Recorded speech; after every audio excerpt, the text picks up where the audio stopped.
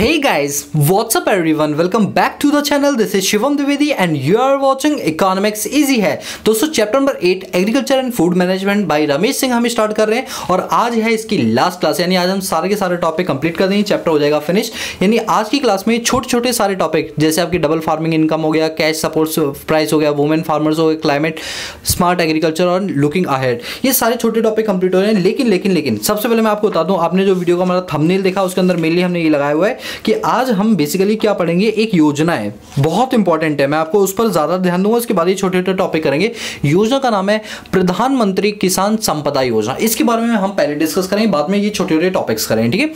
क्या होती है? सुनो मेरी बात।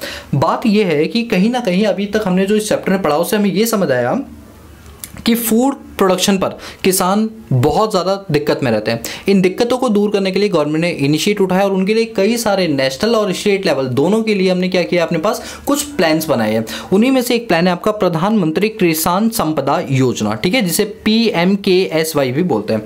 इस योजना के तहत क्या होता है, पहली बात ये सेंट्रल सेक्टर स्कीम है मतलब सेंट्रल गवर्नमेंट ने इसमें हंड्रेड अपना पैसा लगाया है। ये लॉन्च की गई थी दो हज़ार सोलह से लेकर बीस तक, यानी अभी ये चीज़ खत्म होगी आपको मैं एक बात बताऊँ, जो आपके यूपीएससी के और मेंस के क्वेश्चन होता है। उनमें जब कोई नई स्कीम आती है तो उस पर क्वेश्चन बनता है और जब वो स्कीम खत्म हो जाती है तो उसकी इंप्लीकेशन पूछी जाती है। इसलिए ये टॉपिक आपके लिए बहुत ज़्यादा इंपॉर्टेंट है, क्योंकि दो निकल चुके हैं। तो अब ये पूछा जा सकता है कि इसमें क्या सफलता है नहीं क्या सफलता है ये सारी चीज़। तो ये टॉपिक आपके लिए बहुत ज़्यादा इंपॉर्टेंट है।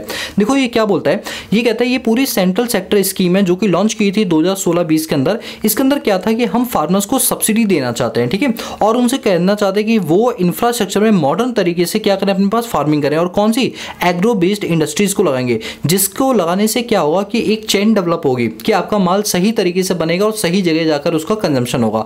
इससे किसानों को फ़ायदा पहुंचेगा, उनकी एक इनकम बढ़ेगी और जो रिसोर्सेज का वेस्टेज होता है, यानी जो एग्रीकल्चर का वेस्ट होता है, वो हमारा क्या हो जाएगा? कम हो जाएगा। फ़ूड को कैसे प्रोक्योर करना है, कैसे उनको एक्सपोर्ट बढ़ाना है, कैसे उसकी प्रोसेसिंग करनी है, कैसे उसकी हाइजीन को फैक्टर को बढ़ाया जा सकता है क्वालिटी को बढ़ाया जा सकता है, जिससे हमें उसकी एक सही कीमत मिले, कैसे उसकी पैकेजिंग की जाएगी, कैसे उसकी प्राइसिंग को डिसाइड किया जाएगा, ये सारी चीज़ गवर्नमेंट ने इस स्कीम के तहत अपने ऊपर ले लिया और कहा, किसान, तुम सिर्फ़ फ़ूड क्रॉप प्रोडक्शन पर ध्यान दो, बाकी सारा काम हम आपके लिए करेंगे। ये इनिशिएट हम आपके लिए करेंगे ताकि हम आपकी क्रॉप को इंटरनेशनल लेवल पे एक सही कीमत दिला पाए और डोमेस्टिक लेवल पे आपको एक इनिशिएट दिलवा पाए। ये स्कीम जो है, तकरीबन 20 लाख फार्मर्स को पाँच लाख तीस हज़ार पाँच सौ जॉब्स प्रोवाइड करवाती है। मतलब कोई भी चीज़ होती है ना, सिर्फ़ पैसा ही के लिए नहीं होती। है उसमें कई सारी जॉब अपॉर्चुनिटीज़ होती है। इंफ्रास्ट्रक्चरल डेवलपमेंट होता है। तो यहाँ इस स्कीम से हमारा इंफ्रास्ट्रक्चर डेवलप हुआ ही हुआ। साथ के साथ हमें एम्प्लॉयमेंट भी मिला। लगभग पाँच लाख पचास हज़ार लोगों को साढ़े पाँच लाख समझ लो ऑन एन एस्टिमेट क्या मिला, इसमें एम्प्लॉयमेंट मिला, जिससे बहुत ही अच्छा रहा। ये जो है, ये सारे जो कॉम्पोनेंट है, वो इसके अंदर पाए गए। मतलब इस स्कीम के तहत किन किन चीज़ों पर ज़्यादा ध्यान दिया गया? सबसे पहली चीज़, इसमें मेगा फ़ूड पार्क्स पर ध्यान दिया गया। इंटीग्रेटेड कोल्ड चेन फैसिलिटी को इंप्रूव किया गया। अब ये सारी चीज़ें जितनी भी लिखे ना, इनको मैं एक एक करके पढ़ाने वाला हूँ। इन सभी को मैं एक एक करके पढ़ाने वाला हूँ, इसलिए मैं एक एक को भी यहाँ नहीं बोल रहा हूँ, यहाँ से स्टार्ट करते हैं। सबसे पहली चीज़, जो हमारी स्कीम थी प्रधानमंत्री किसान संपदा योजना, इस स्कीम के तहत सबसे पहली चीज़ फोकस की गई मेगा फ़ूड पार्क स्कीम पर। ये क्या बोलता है? ये स्कीम ये बोलता है कि अगर हमें फ़ूड प्रोसेसिंग इंडस्ट्रीज़ के अंदर ग्रोथ लेकर आनी है, अगर हमें अपने देश के अंदर फ़ूड प्रोसेसिंग इंडस्ट्रीज़ के अंदर ग्रोथ लानी है तो ऐसे में हमारा जो प्रोसेसिंग सिस्टम है या जो हमारा इंफ्रास्ट्रक्चर है, उसमें सप्लाई चेन को बढ़ाने की ज़रूरत है। मतलब हमें तीन चीज़ों पर फोकस करना है इंफ्रास्ट्रक्चर पर सप्लाई चेन पर और हमारे पास स्टोरेज की फैसिलिटी इन सभी चीज़ों को स्ट्रॉन्ग करना पड़ेगा और इसके लिए हमने एक रूल बनाया that is mega food park scheme मतलब रूल नहीं बनाया, एक स्कीम बनाई, जिसके तहत हम क्या करेंगे? फ़ूड की प्रोसेसिंग सही से करवाएँगे, उनको बेहतर इंफ्रास्ट्रक्चर प्रोवाइड करवा पाएँगे, ताकि सप्लाई चेन जो है फार्मर से कंज्यूमर तक माल सही तरीके से पहुँच जाए, ठीक है? दूसरा है आपका cold chain value addition and preservation ये क्या बोलती है कि देखो, एक किसान भाई के पास अपने पास वो सोच रहा है कि अभी उसे सही कीमत नहीं मिल रही बाज़ार में। उसे जब सही कीमत मिलेगी, तब उसे बेचेगा। अब इन चीज़ों के लिए उसके पास क्या होना चाहिए? वेयर हाउस फैसिलिटी होना चाहिए। और कोई आइटम ऐसा है जो पेरिशेबल नेचर का तो उसके लिए कोल्ड स्टोरेज की फैसिलिटी होना ज़रूरी है। वो सारी फैसिलिटी हमारे प्रधानमंत्री किसान संपदा योजना के तहत cold chain value addition and preservation में दी जाएगी। ये स्कीम ये बताती है कि यहाँ पर हम 2008 के बाद से हमने ये ऑब्जेक्टिव लिया कि किस तरीके से हमने अपने कोल्ड चेन को डेवलप करना है वैल्यू एडिशन को डेवलप करना है प्रिजर्वेशन स्कीम्स को चलाना है, जिससे फार्मर्स की जो क्रॉप है उनको हम प्रिजर्व कर सके लंबे समय तक, क्योंकि वो पेरिशेबल नेचर के पेरिशेबल मतलब जो खाने पीने की चीज़ें होती है, वो जल्दी सड़ जाती हैं। तो वो जल्दी ना सड़े तो प्रिजर्वेशन होना बहुत ज़रूरी है, जो हमने किस सुविधा के थ्रू दिया? Cold chain value addition and preservation innovation के थ्रू दिया किसानों को। तीसरा हमने किसानों को क्या दिया? Modernisation of modernisation of abattoirs अब ये क्या होता है? जो कसाई खाना होता है, जहाँ पर एनिमल्स को काटा जाता है। दोस्तों, बताते हुए थोड़ा सा खराब लग रहा है, लेकिन क्या करें? गवर्नमेंट की स्कीम तो बताना पड़ेगा। यहाँ पर बोला है कि जितने भी हमारे पशुओं को काटा जाता है, उनको उनके मांस को बेचा जाता है तो ऐसे में जो वो कटाई मतलब जो कसाई खाना है, उसको सही तरीके से इंप्रूव करेंगे। उसमें मॉडर्न मशीनरीज का यूज़ करेंगे। जैसे अगर मैं चाइना की बात करूँ तो चाइना के अंदर क्या होता है कि जैसे अगर मैं फिशेस की बात करता हूँ तो चाइना के अंदर जो शिप फ़िश को लेने के लिए जाती है, उसी के अंदर पूरी फैक्ट्री होती है। और जो सब वापस आती है ना पोर्ट पे तो डॉक पे क्या होता है, वो सिर्फ़ पैक्ड डब्बे उतारती है और इंडस्ट्री उनको बेचने के लिए चली जाती है। मतलब सारा काम समुद्र में हो जाता है। उसकी पैकेजिंग उसकी फिनिशिंग सब कुछ ग्रेडिंग वगैरह सब समुद्र के अंदर हो जाती है। मतलब उस शिप के अंदर हो जाती है। अगर ऐसा इंफ्रास्ट्रक्चर हम भी बिल्डअप कर ले अपने पास, जो कसाई खाने हैं तो ऐसे में कहीं ज़्यादा हमारी प्रोडक्टिविटी बढ़ जाएगी। फिर जो हमारा प्रधानमंत्री किसान संपदा योजना है, उसके तहत टेक्नोलॉजी के अपग्रेडेशन पर बहुत ज़्यादा ध्यान दिया गया कि ऐसा क्या किया जाए कि फार्मर्स को एक बेहतर टेक्नोलॉजी दी जाए, ताकि उनकी फ़ार्मिंग को बेहतर बना सके। तो वही लिखा है कि इस स्कीम के तहत टेक्नोलॉजी को अपडेट करना मॉडर्न इक्विपमेंट को स्टैब्लिश करना और अगर किसी के पास पैसों की कमी है तो उसको फाइनेंशियल तरीके से एड देना। एड मतलब उसको सुविधा देना, पैसों से डायरेक्ट बेनिफिट देना या इनडायरेक्ट बेनिफिट देना, ताकि वो अपने पास टेक्नोलॉजी को अपडेट कर पाए और अपनी फ़ूड प्रोसेसिंग यूनिट को और ज़्यादा इन्हांस कर पाए। और इसमें है quality assurance codex standard uh research and development and promotional activity अच्छा ये कोडेक्स पहले मैं एक एक करके बात करता हूँ। क्वालिटी एश्योरेंस आप जो प्रोडक्ट बनाओगे, अगर उसमें क्वालिटी हम ग्रेड दे दें ग्रेडिंग सिस्टम दे दें तो ग्रेडिंग के हिसाब से आपको उस माल की कीमत मिल जाएगी। अगर आपका माल ए ग्रेड का यानी हर चीज़ बिल्कुल परफेक्ट है तो उसको हम एक्सपोर्ट कर देंगे। बी ग्रेड का प्रोडक्ट है तो डोमेस्टिक मार्केट में उसको अच्छी अच्छी कीमतों पर बेचेंगे। सी रेट का है तो इसके हम छोटी छोटी किराना स्टोर्स पर बेचना शुरू कर देंगे। तो ये क्वालिटी एश्योरेंस क्या दिएगा ग्रेडिंग सिस्टम के थ्रू दिएगा कोडेक्स स्टैंडर्ड में क्या होता है कि जब भी कोई माल एक्सपोर्ट करते हैं पेरिशेबल आइटम तो हर कंट्री सेफ्टी स्टैंडर्ड लगाती है। कहीं ऐसा तो नहीं, इसमें लेड की मात्रा ज़्यादा हो, इसमें प्रोटीन की मात्रा कम हो। तो ऐसे में कोडेक्स पूरे बनाए गए रूल्स एंड रेगुलेशन बनाए कि जब भी आप किसी चीज़ का एक्सपोर्ट करोगे तो आपके उन फ़ूड आर्टिकल्स में ये कॉम्पोनेंट तो बिल्कुल होना ही चाहिए। इसे बोलते हैं कोडेक्स स्टैंडर्ड और रिसर्च एंड डेवलपमेंट को प्रमोट करने के लिए गवर्नमेंट ने इनिशिएट किया। दोस्तों, मैं बता दूँ, ये सारी की सारी बातें मैं कर रहा हूँ। प्रधानमंत्री किसान संपदा योजना के तहत ये सारे पॉइंट्स हैं जिन पर फोकस किया गया। इसके फोकस किया गया Indian institute of crop processing technology कहा गया कि क्रॉप को प्रोसेस करने के लिए जो टेक्नोलॉजिकल इक्विपमेंट्स हमें चाहिए होते हैं, उन इक्विपमेंट्स पर भी हमें खासा ध्यान देना पड़ेगा। तो वही लिखा हुआ कि Indian institute of crop processing technology एक इंस्टीट्यूट है जो कि पैडी क्रॉप्स पर पूरी रिसर्च करता है कि किसान को कौन सी क्रॉप किस महीने उगानी चाहिए, किस खेत में कौन सी क्रॉप ज़्यादा बेहतर होगी, ये सारी की सारी चीज़ें इसमें प्रोवाइड कराई जाती है। मतलब एक टेक्निकल असिस्टेंट दिया जाता है किसानों को। इसके बाद इसके अंदर क्या है आपका? National meat and poultry processing board ये क्या बोलता है कि जितने भी मीट वाले प्रोडक्ट्स हैं, उनकी बाकायदा ग्रेडिंग करना, उनको इस तरीके से पहुंचाना लोगों तक ताकि उसको एक सही कीमत मिल पाए। ये सारा काम किसको सौंपा गया? National meat and poultry processing board को किया गया। ये गवर्नमेंट ऑफ़ इंडिया के द्वारा बनाई गई एक यूनिट है, जिसको दो हज़ार नौ में स्टैब्लिश किया था। गवर्नमेंट ने दो साल तक इनका साथ दिया। इसके बाद इसे खुले आसमान की तरह छोड़ दिया गया कि अब तुम्हें काम करना सिखा दिया, अब तुम अपने हिसाब से काम कर लो, ठीक है? यहाँ पर एक बात बोली गई कि जो बोर्ड है, उसने सबसे पहली चीज़ अच्छी अच्छा काम किया क्या? सिंगल विंडो क्लियरेंस किया। इसका मतलब क्या हुआ कि जब भी कोई प्रोडक्ट हमें कहीं से भेजना होगा तो उस केस में हमें इधर उधर मारने की ज़रूरत नहीं पड़ेगी। मतलब टाइम खफा करने की ज़रूरत नहीं पड़ेगी कि हम इस विंडो पे जाएँ, उस विंडो पे जाएँ, यहाँ की क्लियरेंस ले, वहाँ की क्लियरेंस ले। एक्सपोर्ट करना है। आप इनके पास जाओ, ये आपको एक सिंगल वीडियो विंडो क्लियरेंस देंगे। मतलब एक ही विंडो पर आपको सारी चीज़ें मिल जाएँगी। तो आपको कहीं इधर उधर भागने की ज़रूरत नहीं पड़ेगी। जैसे एस बैंक में क्या होता है, कभी इधर भागो, कभी उधर भागो, यही होता है ना एस बैंक में। इसके बाद अगला इन्होंने कहा Indian grade sorry grape processing board अच्छा ग्रैप्स ये ग्रैप्स मतलब अंगूर है। आप जानते हो जो शराब है, वो किससे बनाई जाती है? उसमें अंगूर का एक बहुत ही इंपॉर्टेंट रोल होता है। लोग कहते हैं ना कि शराब में जनरली फीमेल जो होती हैं, वो अपने हस्बैंड को क्या बोलते हैं जब ज़्यादा शराब पी कहते है कि क्या तुम मूत पी कर आ गए हो? Sorry I am really sorry कि ऐसे वर्ड यूज़ करूँ, लेकिन क्या करूँ? आपको समझाने के लिए मुझे ये वर्ड्स यूज़ करने पड़ेंगे। आई होप आप समझ रहे हो कि मुझे अपनी डिग्निटी भी बनानी है और चीज़ों को समझाना है। तो कभी कभी कुछ मुझे ऐसे वर्ड यूज़ करने पड़ते हैं जिससे आपको ज़्यादा समझ में आए। तो सिर्फ़ समझने के हिसाब से रहना ठीक है? तो जब वो ऐसा वर्ड बोलती है तो उसका मतलब ये थोड़ी कि ये उससे बनाया गया हो। रियलिटी में ग्रैप से बनाया जाता है और ग्रैप्स की भी एक क्वालिटी होती है। ऐसा नहीं कि आपने घर में क्या कि काले और ग्रीन ग्रैप्स मिला दिए और क्रश करके जो निकला, बोले, मम्मी, देखो, दारू का नशा ही अलग होता है। नहीं भाई, उसको क्या है, इसको प्रोसेसिंग करना पड़ता है। प्रोसेसिंग करके ही क्या बनती है? वाइन बनती है। और आप जानते हो, हमारे देश के अंदर कोई बिके ना बिके, लेकिन वाइन दबा के बिकती है। कोरोना टाइम में आप एक टाइम के लिए मेडिसिन की दुकानें बंद कर दो, लेकिन वाइन की दुकानें खुली होना बहुत ज़रूरी है। इतना एसेंशियल आइटम है कि इसके बिना इंसान जी नहीं सकता। वो होते हैं ना देसी ठर्रे दिलरुबा नाम से आता है और कश्मीरा के नाम से आता है तो भाई साहब दबा के बिकता है। मतलब ये लगा लो कि एक टाइम के लिए रोटी ना मिले चलेगा लेकिन दारू का पैक बिल्कुल बनना चाहिए, ठीक है? ये हम, हमारे अनपढ़ लोगों की सोच है, ठीक है? मैं अनपढ़ लोग बोलूँगा, जो अपना पैसा यहाँ पर वेस्ट कर देते हैं पूरा। तो कहा गया, अब गवर्नमेंट को देखो रेवेन्यू का सोर्स मिलता है। तो गवर्नमेंट को जहाँ रेवेन्यू मिलेगा, उस चीज़ पर बहुत ध्यान देंगे। मुझे ये नहीं समझ आता गवर्नमेंट कहती है, हम स्कूल्स बनाएँगे, हम हॉस्पिटल्स बनाएँगे। मैं तो कहता हूँ, तुम एक साल क्या मतलब अगले दस साल का कॉन्ट्रैक्ट ले लो, दस साल तक भारत में कहीं भी शराब नहीं बिकेगी, गुटखा नहीं बिकेगा। मैं आपको खुद बता रहा हूँ, स्कूल वगैरह इतना बनाने की ज़रूरत ही नहीं है। हॉस्पिटल बनाने की उतनी ज़रूरत, जितना है उतने से काम हो जाएगा। आप दारू के ठेके बंद कर दो, जितने लोगों को मरना होगा, एक बार मर जाएँगे शराब के नशे में, ना मिलेगी शराब तो ठीक है? हो गया। अब जो पीढ़ी आएगी, वो सही आएगी। अब वो दारू के नशे में टुल लोग इधर उधर नहीं गिरेगी। जब इधर उधर नहीं गिरेगी तो हॉस्पिटल नहीं रहेगी तो हॉस्पिटल की संख्या भी कम हो जाएगी। मतलब हॉस्पिटल में पेशेंट्स की संख्या कम हो जाएगी। लीवर डैमेज की समस्या होगी या कोई भी बीमारी होती है।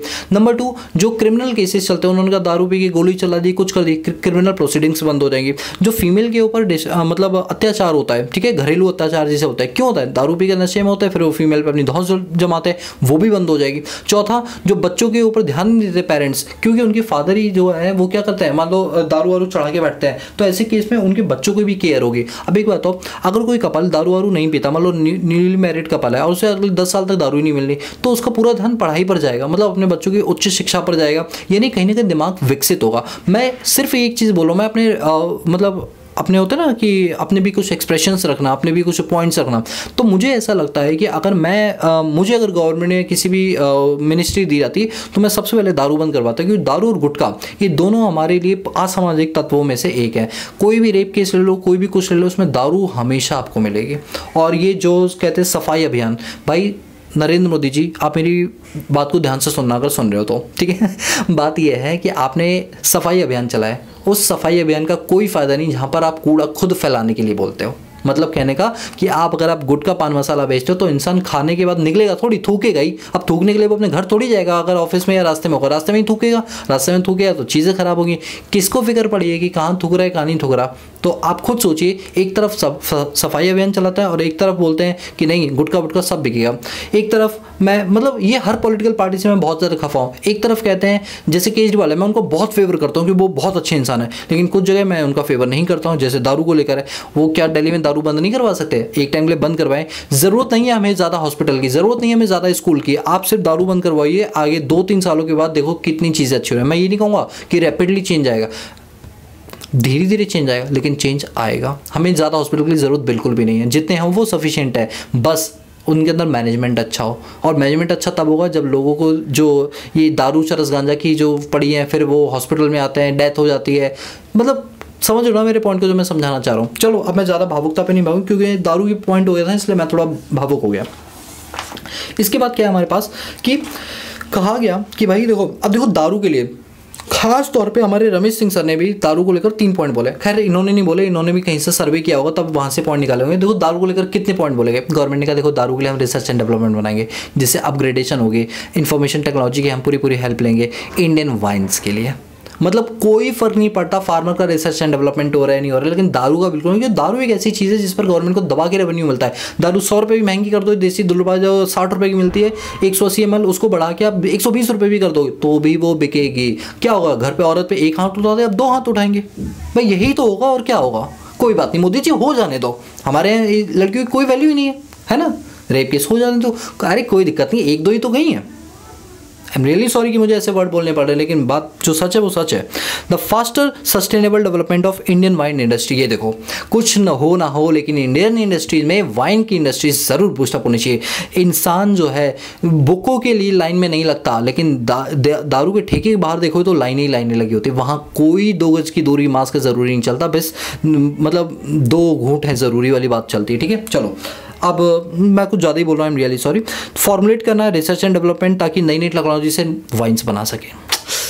चलो, इसके बाद बात करते हैं नेशनल इंस्टीट्यूट फॉर अच्छा मैं बता दूँ, भटकना मत। हम क्या कर रहे हैं? हम प्रधानमंत्री किसान संप, संपदा योजना के बारे में पढ़ रहे हैं। इसके अंदर जो सब पॉइंट्स हैं हम उनके बारे में डिस्कशन कर रहे हैं ठीक है? इसके बाद आता है हमारा national institute for food technology entrepreneur and management government ने देखा कि भाई हमारी जो कंपनियाँ हैं वो ढंग से काम नहीं कर पाती है। रीज़न है उसके पीछे कि हमारा क्या मैनेजमेंट अच्छा नहीं है। स्किल्ड है तो वो काम करना नहीं चाहता। भाई एसबीआई बैंक में चले जाओ। आपको ऐसा लगे कि इनसे ज़्यादा सुस्त इंसान दुनिया में कोई भी नहीं मिलेगा। क्यों? क्योंकि वहाँ का मैनेजमेंट नहीं है। तो कहा गया कि गवर्नमेंट ने कहा कि भाई ऐसा है कि अगर हमें किसानों को आगे बढ़ाना है तो इंडस्ट्रीज़ को प्रमोट करना पड़ेगा। और इंडस्ट्रीज़ में भी एंटरप्रेन्योर स्किल लानी पड़ेगी और मैनेजमेंट को बढ़ाना पड़ेगा, जो गवर्नमेंट के दोनों ही बस की बात नहीं है। ऐसा मुझे लगता है। क्योंकि तभी तो चीज़ें प्राइवेटाइज हो रही हैं। कहा गया कि फॉर डेवलपिंग फ़ूड प्रोसेसिंग को अगर हमें डेवलप करना है इंडिया के अंदर तो हमें वर्ल्ड क्लास टेक्नोलॉजी का यूज़ करना पड़ेगा रिसर्च एंड डेवलपमेंट का यूज़ करना पड़ेगा, और हमें प्रोसेस टेक्नोलॉजी मशीनरीज का यूज़ करके अपने फ़ूड प्रोडक्शन को बढ़ाना पड़ेगा स्टैंडर्ड को बढ़ाना पड़ेगा। ये सारी चीज़ें तभी पॉसिबल है जब हमारे पास पूरी इंटरप्रेन्योर स्किल हो और मैनेजमेंट स्किल हो। ठीक है? अच्छी बात है। किताबों में अच्छी लग रही है। इसके बाद हमारा national mission for food processing ये मिशन क्या बोलता है? कि भाई ऐसा है कि फ़ूड को प्रोसेस करना भी हमारे लिए बहुत इंपॉर्टेंट पार्ट है। ये नहीं कि सिर्फ़ फार्मर पे फोकस करो। फार्मर जब चीज़ बना लेता है तो वो चीज़ सही मार्केट में जा रही नहीं जा रही इंडस्ट्रीज़ उसका सही प्रोडक्ट बना पा रही है, इस पर भी फोकस होना बहुत ज़्यादा ज़रूरी है।